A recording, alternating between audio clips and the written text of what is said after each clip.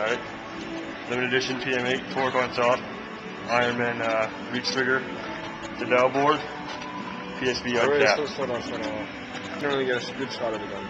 That's alright.